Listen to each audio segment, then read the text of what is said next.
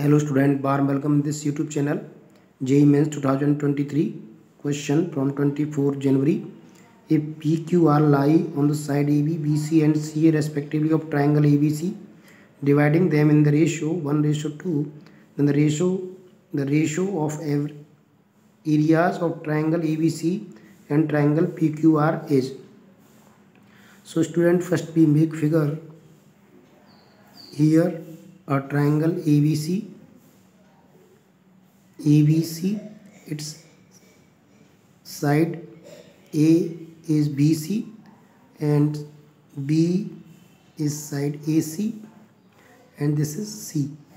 Okay? According to triangle. Now point P Q R divide the AB in 1 ratio to 1 ratio to 1 ratio 2 now we add these got a triangle PQR if you find the length of this side AR by the ratio this is 2 over 2b over 2 plus 1 3 and this is c over 1 plus 2 3 c by 3 and this is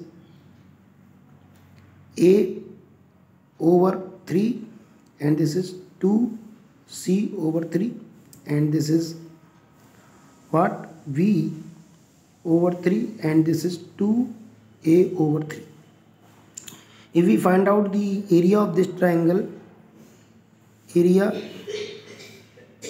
of triangle a p r then this is 1 by 2 bc b is 2b by 3 and c is c by 3 sin a. So this is by 1 by 9 sorry 2 by 9 half BC sin A. And this is represented by triangle. So this is triangle. Let A1 similarly we got the areas of these three triangle which are same. So area of triangle APQ plus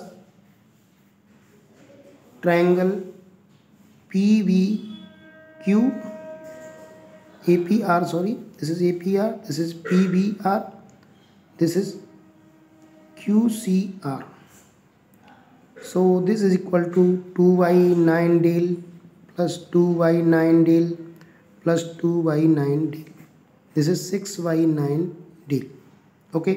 If we find the area of this this this is we got this. Now area of this total triangle is del. Therefore area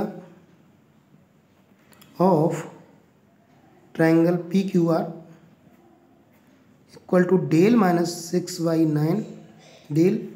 So this is 3 del by 9 okay area of PQR now we find to find out the area the ratio of the area of the triangle ABC to the ratio of triangle PQR so area of triangle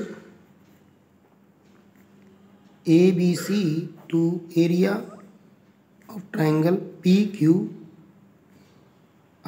equal to this is del and this is 3 by 9 del so del del cancel we got 9 by 3 so this is 3 so answer of this question is found on option B which is 3 student I hope you got it.